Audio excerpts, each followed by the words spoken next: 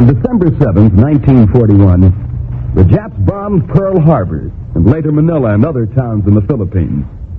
All of you know the story. No, we lost the first round and lost it badly. But why we lost it and why we can still lose the last round is something which maybe you don't know. Well, Staff Sergeant Douglas E. Brown does. He was there. And here's his story. I don't know exactly where to start it. It could begin in the millions of American homes where they had the idea that Japan didn't amount to very much. And in case of war, we could polish her off almost any dull afternoon.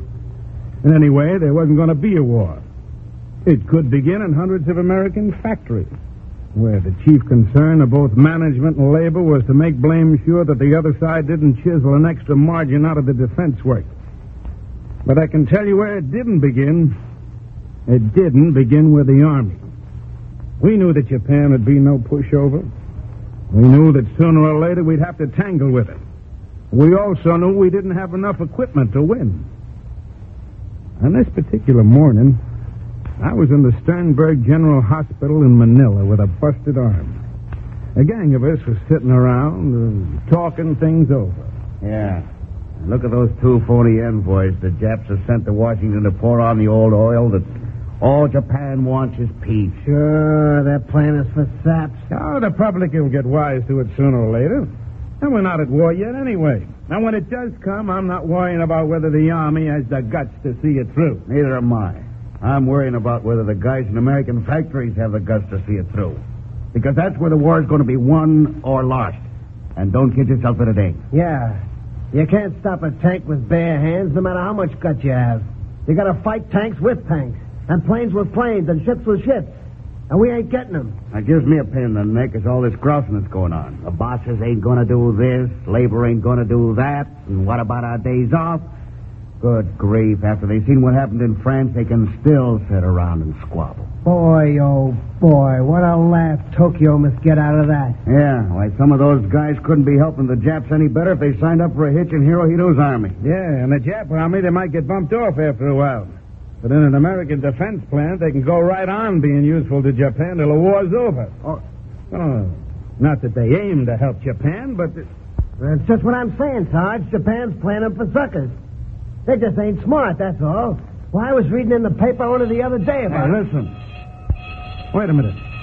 It's an air raid alarm. It must be some kind of a mistake. Hey, listen.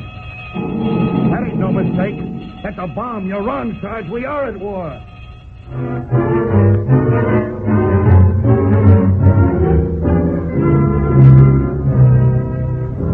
And then the news reports the town of Baguio bombed, the town of Iba, Camp John Hay, Clark Field. And after that, the wounded arriving at the hospital receiving station, where, in spite of his broken arm, Sergeant Brown was helping. Long lines of stretchers, seemingly without end, doctors working frantically. Now, the anti-tetanus. All right, move this stretcher along. Ask them to dress his wounds as quickly as they can. Say, doctor, I've been looking for a buddy of mine, Porky Fenny. He was stationed at Iba. Well, there were some men brought in from Iba around 11 o'clock. You might inquire. Yes, all right. Bring that man up. They're coming. They're coming again. Uh, here, They're here. Give me a hand, again. Sergeant. Mm, Roll up his sleeve and swab his arm with alcohol. Yes, sir. Alcohol's about gone, sir. Yes. Well, uh, run over to pharmaceutical supplies and get another bottle. Yes, sir. Hey, Brown, where you going? To get some alcohol for the doc. You found out anything yet about Porky? Nah, nah. Some of the men came in from Iba about an hour ago, but I haven't had a chance to locate them. Uh, I talked to some guys from Camp John Hay. We didn't have a prayer after the first raid. The Japs came right down and machine gunned them. Nothing to fight back with. Yeah, yeah, that's the story you hear all over. That's like I said this morning. You can't fight a tank or a plane with bare hands. Not enough anti-aircraft guns, not enough ammunition, not even enough medical supplies. Say, how the hell do the people back home think we're going to stop the Japs anyway? They call them dirty names? Yeah, don't let it throw you. Stuff will be coming through before long. Sure, sure, after they get through holding meetings back there. Making speeches about wages and hours. Meantime, if a few of us get our insides blown out, well, what's the difference? Well, the folks back home aren't going to let us down. Look, I got a scram. Hey, wait a second. Tomorrow morning, I'm going to ask the commanding officer to tur- return me to duty. Return you to duty? Why, you're nuts. Well, you've only been out of bed two or three days. Well, if I'm going to be a target for some Jap bomber, I don't want to be in a hospital ward. I want to be out there where I got a little chance to fight back, anyhow. Yeah, when you do put in for return to duty, ask to be sent to Nichols Field. That's where I put in for. Huh? Oh, you did, huh? Mhm. Say, who's nuts now? Well, that's different. You've been sick. But there's nothing the matter with me except a busted arm. Besides, you'd be safe enough here anyway. Yeah. They wouldn't bomb a hospital. Even the Japs have got enough conscience not to. Uh-oh. Wouldn't bomb a hospital. You know, Sarge, I've never seen a guy who was wrong as often as you were.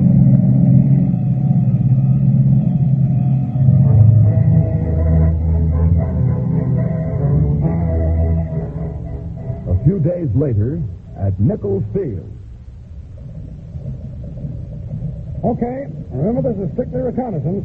Keep out of trouble if you can, but if you can't, let them have it. And good luck. Sergeant Brown reporting for duty, sir. Huh? Where you from, Sergeant? Just discharged from Sternberg General Hospital, sir. My papers will be along later. Yeah, say, what's the matter with your arm? It was broken, sir. But it's okay now, practically. Well, there's plenty to do around here, even for a man with a broken arm. Report to the first sergeant. You'll find him over at the hangar. Yes, sir. Hey, Brown. Hey! When did you get here? Yesterday, what held you up? Oh, I had to spend all night in the ravine over there. Quite a gang of us. Yeah? Any excitement? Nah, nothing important. Some patrol action. We would have given them a good shellacking, only we had to go a little easy on the ammunition. Yeah, only. I wonder whether that's what they'll be saying a year or two from now. We would have won the war only. You're looking for the top sergeant? Yeah. Oh, he's over there. but- Hey, look up there. Jap Zero. Jap bombers. Must be hundreds of them. Come on, we better find cover. Wait. Look, there are six of them jumping on one of ours. Lordy, he hasn't got a chance, one against six. There he goes, he's been hit. No, oh, no, that's a Jap plane. Hooray, that's a ticket. Give it to him, brother, give it to him. He's losing a lot of altitude, though. There goes another Jap. No. Sure, sure, look at the smoke pouring out of him. One against four now. I feel he had more planes, if we only had more planes. Lord Trenton's planes, hundred thousand. Fellas. No, oh, we aren't doing so bad. Yeah, those boys are top things. Oh, Clark. They got him. They got him. Damn them. Damn them. Why can't we go against them even? Why can't we just have an even break? That's all we ask, an even break. Come on, they're heading this way. We can't do any good. I want to stay right here. What do you mean? You can't stay here? I'm going to stop You're crazy. Come on, you can't stop a plane with a rifle. That's all I got to stop them with. Okay, that's what I'll use. We've got to fight this war with nothing much more than bare fists. All right, let's do it. Corporal, let me alone. Come on, you yellow.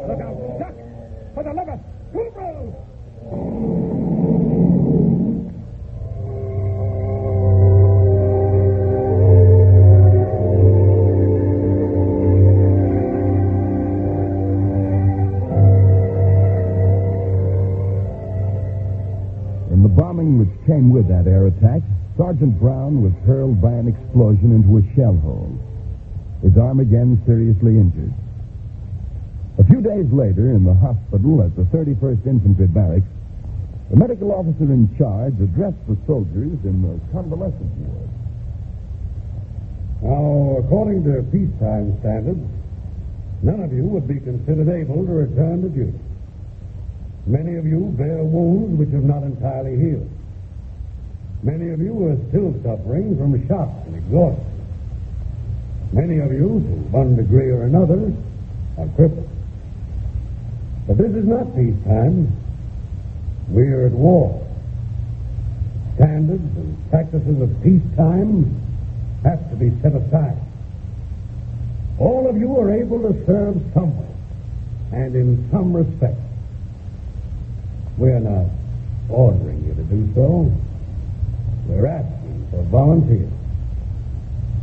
We can't promise you continued medical attention, nor that you will be adequately fed and cared nor that you will soon be reinforced or relieved. We can only promise you the privilege fairly and fighting and perhaps dying for the principles in which all of us believe. Shall call the roll. You may answer yes or no. Private Anderson. Yes. Private Adams. Yes. Corporal Blumenthal. Yes. Private Benowitz. Yes, sir? Sergeant Brown. Yes. Private Clancy. Yes, sir. Private Dietrich. Yes. Private Eichelberg. Yes. Sergeant Franklin. Yes. First Sergeant Gerhardt. Yes. Private Innes. Yes. Private Jackson.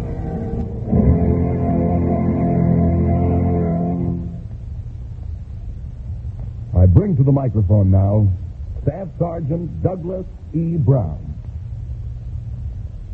Yes, in the Philippines, I saw American kids who might have been your sons or your brothers get out of hospital beds, their bandages still red with blood, climb into their uniforms and go back to stop the Japs.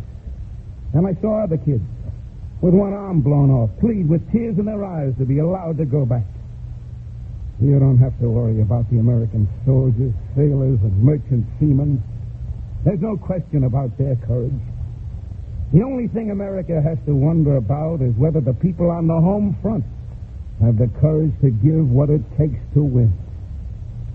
You ought to know by now that our boys can't stop the Japs with their bare fists, and they can't stop tanks with rifles. Those kids fighting around the world for you don't even ask you to give them an even break. They just ask for a chance to win. So get in there and pitch. They need rifles. They need tanks. They need planes. They need food. And one thing they needed above all on Bataan was medicine. There's got to be more ships to carry these supplies in. There's got to be more naval ships to get them there safely. So America's got a job to do. And every one of you listening to me is America. Every one of you has a job to do. If you do that job as you can do it, we win. If you're a slacker on that job, we lose and don't let anybody tell you anything else. So, what's your answer, Mr. and Mrs. America? I shall call the roll. You my answer, yes or no.